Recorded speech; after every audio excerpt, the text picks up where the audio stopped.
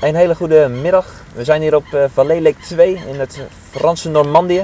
Naast me zit Eddie Sterks. Dag Eddie. Dag. We hebben je even bijgeroepen. We hebben net Bart van der Hurk uh, aan de tand gevoeld. En we zagen hier lopen en denken, ja, die kans kunnen we niet, uh, niet, niet missen natuurlijk. Ja, ja. Je bent toch al jaren een van de karpervissers die ja, best wel in de belangstelling staat. En ja, hoe lang vis je eigenlijk in hemelsnaam op karper? nu een 28 jaar. Oké, okay, dus dat is al een hele tijd hè. Dus toen ik nog in de luier zat, toen liep jij al te, te vissen, zeg maar? Ja, ja, ja. ja, mijn eerste water in België, dat was meestal... Ik heb leren vissen op de gemeente Vijver van Geil. Ja. Was vrij makkelijk water voor die tijd, maar voor die periode wel vrij grote vissen, want toen ving je toch op een jaar tussen de 100 en de 150 vissen van 10 kilo. Dus, ja, dus dat was, al? Ja, ja. Zo. Het spijtige van dat water is dat het eigenlijk een topwater kunnen worden, maar ze hebben daar dan zandafgravingen gedaan. En dat was 80% daarvan was allemaal bewassen met, met riet en, en waterlelies. Ze hebben natuurlijk iets ingesmeten, dat al die planten en de vissen zijn ook nog meer gegroeid. Ja, zeg maar, de omstandigheden zijn dan net niet goed genoeg om echt grote vissen weer nee. voor te Nee, want de uh, vis zelf was, was, van een goede kwaliteit, want al de vissen die op campus rondzwemmen was van identiek dezelfde kwaliteit, omdat dat Ja. eigenlijk kweekvijvers waren vroeger voor uitzettingen voor het campuskanaal en zo en allemaal. Dus, Oké, dus, dus want de Hoe potentie te zeg maar, wanneer ben je op Camps Kanaal zo begonnen? Is dat ook vlakbij waar je woont? Ja, het campuskanaal was voor mij 4 kilometer. Dus, Echt? Ja. Dus in de beginperiode reed ik erop met mijn bromfiets kennen, want Ja, ik ja. had dan ook een auto en, en Als een player op je fiets, de bronfiets Ja, vanuit het ja. café naar... eh, dat was eigenlijk een thuiswater voor mij. Hè. Ik kan me nog goed herinneren, maar het campuskanaal was heel anders dan nu. Hè, want dat was eigenlijk, juist dat in een vierkantige bak, maar toen was het echt helemaal bewassen met, met, met struiken eraan. Ja. Het was echt tegen de struikenvissen en zo. Oké, is eigenlijk veel leuker dan, eh, Ja. dan nu de laatste jaren, zeg maar. In de beginperiode dat wij dat wisten, ja, ik heb er ooit gezeten in zo'n stoeletje, want toen was het dat allemaal niet, die bivies en Nee, zo. En dan één hengeltje met, met de bolly en de ander met de penhengel, met, met maïs. En wij zaten tot dus min 14, heel de nacht op dat penhengel te loeren voor één vis te kunnen vangen. Dat is wel anders dan nu. Nu ligt iedereen in zijn tent eh, te stinken Ja, ja. en als hij beet krijgt dan gaan ze eruit, zeg maar. Ja, dat is zo. Maar dat had wel zijn charme, vond ik. Ja. En, maar dat is in de tijd dat Ronnie de Grote daar viste, Nee, ik, eh, daarvoor nog. nee, nee, dat was allemaal ervoor. Hè. Die zijn die allemaal nog gekomen. Met Jaap de Bliek en zo. Ja, ja. Dat- De eerste die dat wisten waren Kikke, Theo Sanne en Jos van Utven. We waren de drie eerste en dat was ook gekomen. Dus de gemeente Vijvergeld, dat lag vlak tegen het Campuskanaal. Dan ga je keer kijken. Ja, en dat ging er als kijken, maar ja, voor ons was het ook allemaal nieuw. En kanaalvissen, dat was toen in een tijd ook niet Ja, zo, weinig over bekend zo bekend. Maar we hoorden af en toe wel vissen springen. Ja? En dat waren, ik vergeet dat nooit, dat waren geruchten. Bij ons worden zo een oud manneke, zoals wij vertellen. En die had schend een vis van 19 kilo gevangen en meegenomen naar huis. Ja, toen in de tijd dat ook mensen het, het Ja, ja. op, hè. Ja. Net na de en oorlog die geruchten dachten wij zo eens van, waarom gaan we eens niet op Kemmerskanaal vissen? En. Ja? vergeet dat, ik weet dat nog goed, dat we dan met zo'n klein doosje maïs gingen voeren. En in de eerste nacht dat wij gingen vangen, hadden wij een vis van 13 kilo. Oké. En dat was toen eigenlijk Best wel een mooie vis een natuurlijk. mooie ja. vis. En een tweede vis die er gevangen was, was al trek 19 kilo. Maar dat is voor toen, zeg maar, zoals voor nu een 30 kilo is, zo bijzonder. Ja, dat weer een reuze, hè. Dat, was, dat, was, Ja. dat was niet normaal. En dan nog weten met een penhengel met Gewoon een... een luchtlijntje eraan. En dat was, 25 honderdste. dat was sport. Hè. Oké, en zo is dat een beetje gegroeid. op, op den duur merk je dat er toch hele grote vis zit, omdat het water toen heel warm was? Ja, ja dat, weet je wat? Het mooie van het Kemmerskanaal was toen in de winter was dat, bleef dat water altijd 13 graden. Dus je kon daar ook in de winter wel een vis vangen. Ja. Het was natuurlijk ook veel moeilijker, maar je kon daar altijd blijven vis vangen. Natuurlijk, ja, de, de, de gewichten waren daar veel hoger. Hè. Ik Ja. zeg ook een vissen van, van, van 23, maar 18, 19 kilo, dat Zat was natuurlijk... eh, Gewoon ja, toen waren dat topvissen. Hè. En zeg maar qua, eh, dus langzaamaan werd het bekender en bekender en Ja, toen ja. kwamen er meer mensen. Maar je hebt altijd wel aardige vissen daar kunnen vangen. Ja, ja, ik ben, dat, ja, ik ben altijd iemand geweest die altijd iets anders doet dan iemand anders. En toen in een tijd was ik ook iemand die geloofde in voeren. Dus ik ben, ik ben altijd iemand geweest, voeren dat was voor mij alles. Ja. Dat was Maar is 90% dat ook van een- mijn visserij. Een Was, hobby binnen een hobby, zo Ja. van lekker eh, Ja. met je tasje met boilies naar de waterkant en eh, ja, en, observeren, kijken en dan voeren. ja, en ik was toen wel in een tijd iemand die eigenlijk wel iets meer voerde dan als die andere vissers. En zo, ik, ik heb ook al verteld, dus straks tegen u, van dat ik ook weinig tijd heb altijd voor Ja. te vissen. Want ja, ik kan ook werken en zo. En, Een kindje. Bij mij was het altijd van vrijdagmiddag. Ik had vrijdagsmiddags gedaan met werken tot zaterdagsmiddags. En zondags Dat was het in bad gaan met de vrouw een pintje drinken en zondags was het dan voor de kindjes. Ja, ja. En dat is eigenlijk altijd mijn visserij geweest. Dus ik moest het hebben van mijn voeren ja. En, en- dan afromen, zeg maar. en afromen en dat is goed, altijd dus dat heb je door de jaren heen gewoon helemaal geperfectioneerd voor jezelf, dat je gewoon precies wist. eh, Het is alleen in een tijd zo. eh, allee, ik heb daar heel veel gevist. Ik had daar elke vis al ook al twee, drie keer gevangen. Ja, de leut. Ze waren wel gegroeid. mhm. Maar ik ben toen tussen 6 en 7 beginnen gaan te vissen. Ja. Ja, en toen eh, in een tijd is dan is Cottonier en, en, en Ja, al die andere mannen, allemaal gekomen. En ja, toen zijn de vissen wel enorm beginnen. Meer bollies en de vissen zijn. ja, gewoon echt door het voeren op Kempskanaal, dat in- met die watertemperatuur, dat die bodies Ja. Die gewoon maken. Maar ik ben wel altijd iemand geweest zo eh, van. Ook al denken de mensen van Eddie vangt veel grote vissen. Ik ben eigenlijk nooit iemand geweest die echt voor de grote vissen ging. Ik Gewoon ben altijd een visser geweest. Ik moest veel vis vangen. Ja, oké, dan komen ze vanzelf tussendoor, zeg Ja, maar. en dat was dan tussen 7 en 8 was het dan wat moeilijker. Toen moest je wel langer vissen. Maar ja, de vissen waren al 29 kilo, 27 kilo en ik zat tussen 6 en 7. Ja, Maar ik vond tussen 6 en 7 bij elke sessie twee dertigers en Ja. af en toe ook eens een 23 kilo, een 21 kilo. En ik dacht, laat het allemaal maar zitten. ja.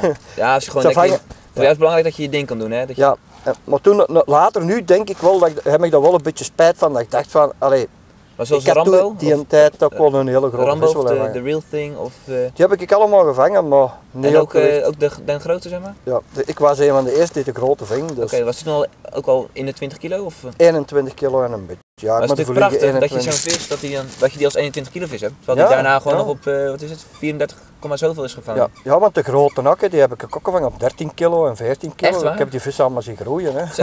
Ja, dat is echt wel mooi om die hele karpgeschiedenis Ja. eh, mee te maken, zeg maar. Voeren, hè, ja, niemand deed dat en ik Maar heb daar gewoon de sinds pannen. wanneer zeg maar, zit jij bij ProLine erin?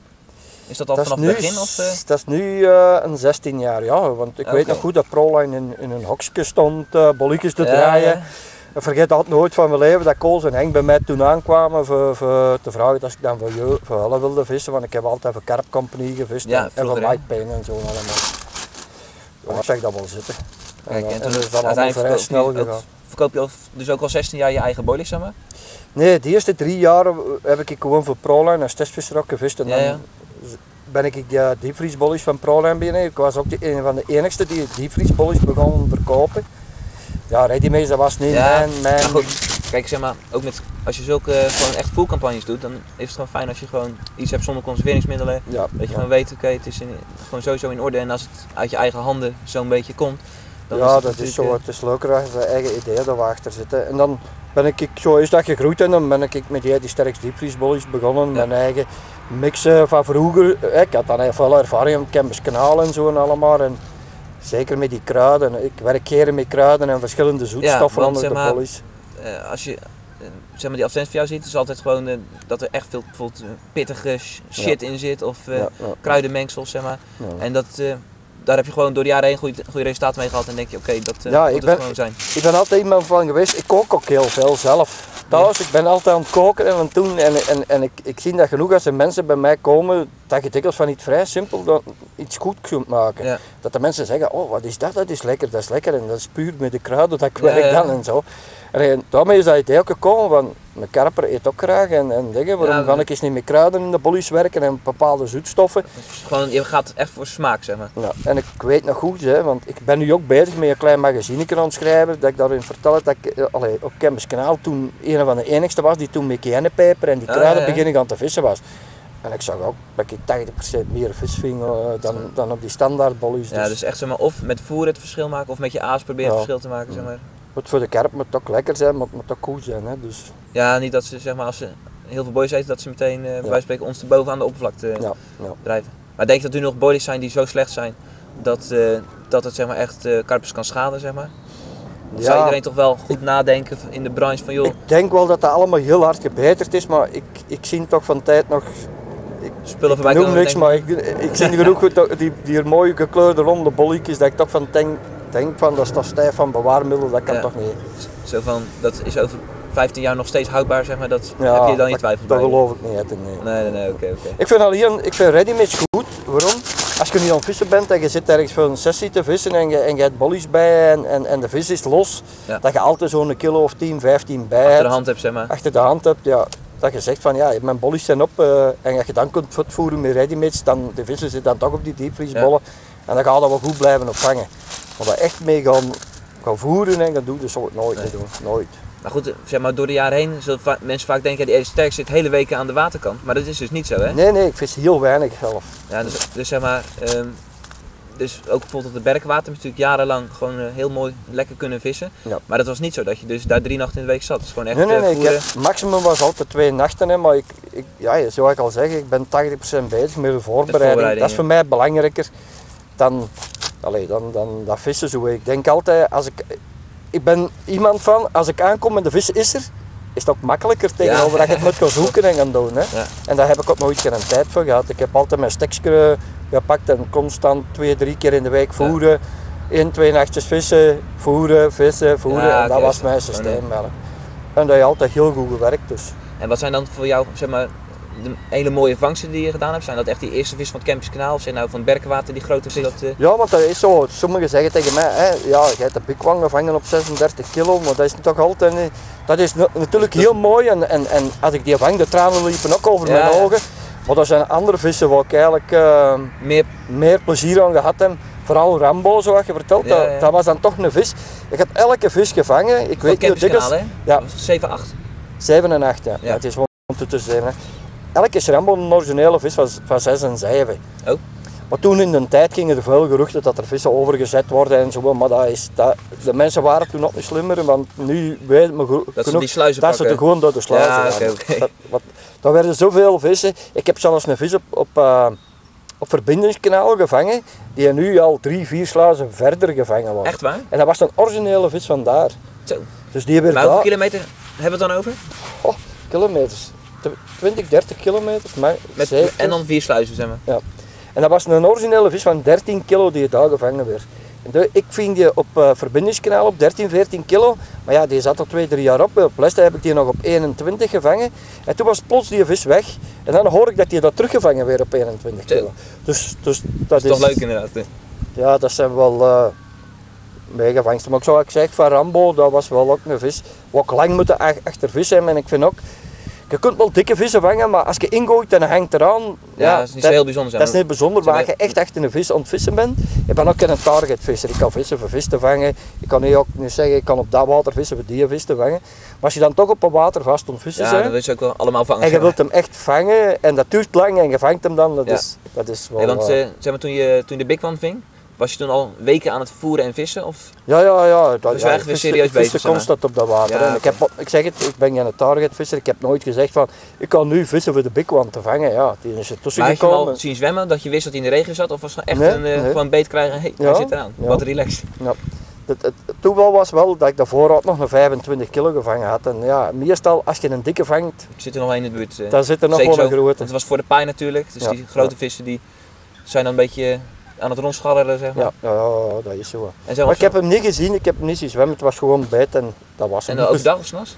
Dat was s'nachts, ja. Oké, en dan kijk je je net en denk je, yo, Ja, ja, ja. dit is wel een serieus vis. eh. Dus Dat wist, je, wist je het meteen dat het hem was?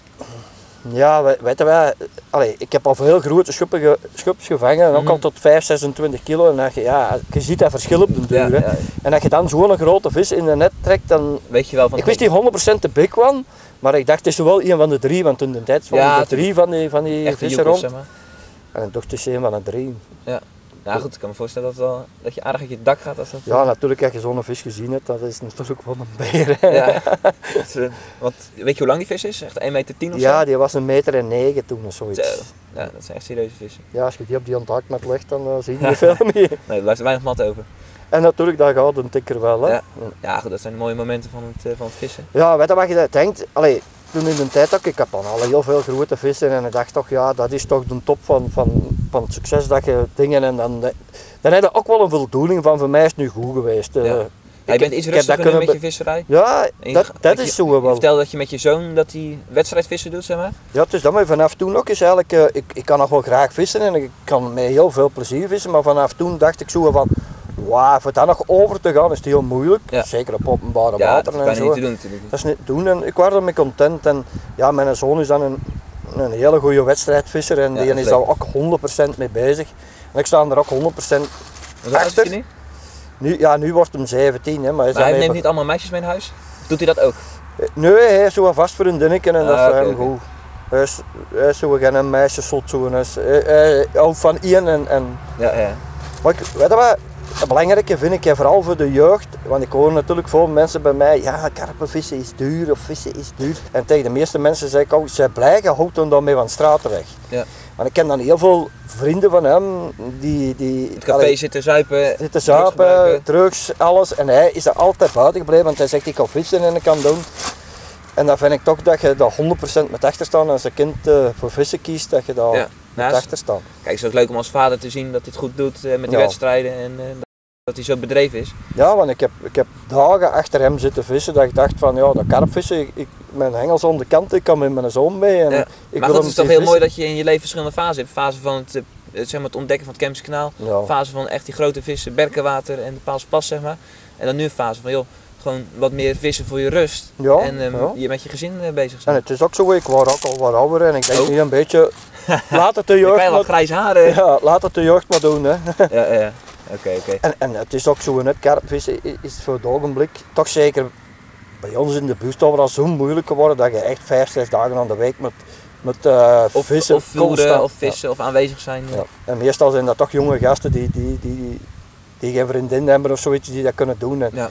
Je ziet dat ook, hè, die, voor het ogenblik de topvissers in België zijn allemaal mensen die er zeven dagen aan het water kunnen, kunnen zitten. Want daar Ja. kun je toch niet tegenop. Hè. Nee, daarom. Dus zeg maar in principe. En ik heb er ook respect voor. Hè. Ik denk van tijd wel van ja, als je zeven dagen aan het water zit is het niet moeilijk. Hè, want ja, dan gaat er vroeg of laat toch wel eens hier en aan hangen. Ja. Maar je moet er ook respect voor hebben, want ze doen het ook maar. je moet het ook maar inderdaad Ja. kunnen. Hè? Gewoon die focus blijven houden op het vissen. Ja, dat is zo. Ja. dag in dag uit daarmee bezig zijn. Dus, eh, want je hebt ja, gewoon je werk natuurlijk. Je verkoopt die boys, maar je verkoopt ook alle andere ProLine eh, spullen toch? Ja, zeker. voor, Ik, eh, ik heb dan onder ProLine dan mijn eigen aas en zo en allemaal. Dat is nu ook aan het uitbreiden, want er komen nieuwe zakken. Ja. Ja. Die sterkste en zo en allemaal op.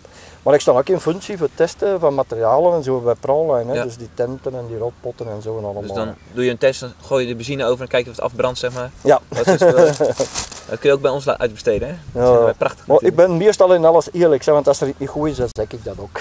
Ja. Nee, maar goed, dat, zeg maar, heel veel mensen denken dat testvissers dat die alleen maar krijgen en dat ze verder zeg maar, eh, dat ze hun duim opsteken van het is goed. Maar als een goede testvisser die zegt natuurlijk, vooral als het niet goed is, zeg maar, die durft zijn mond open te Ja, trekken. ja, ik heb dat ook, eh we hebben ook dingen gehad. We hebben ook hengels gehad, die zijn heel goed geweest. Maar daar waren er verschillende bij die ook eh, stuk gingen. Dus en dan durf ik ook eerlijk tegen de mensen zeggen van, Het is niet altijd denk eens na, want hè, die product is misschien ietsje beter. Ik ben daar eerlijk in. En dat werkt meestal ook. Je moet niet altijd zeggen van, mijn product is het beste of dit is het beste. Als je tegen de mensen zegt van, die hebben dat goed en die hebben dat goed. En dan, En dat dit is ook bij de me- verkeerd. Ja. En dan probeer het eens een keer. Ja, heb je nog eh, een boodschap die je mee wil geven aan de mensen? Aan de jeugd bijvoorbeeld, eh, blijf vooral plezier hebben en eh, Ja, ja, aan de jeugd wil ik zeker zeggen van, dat je heel veel plezier in vissen moet hebben en dat je niet even naar schoenen mocht lopen. Want de laatste tijd vind ik dat de meeste karpvissen even de schoenen een beetje beginnen aan te lopen. En Ja.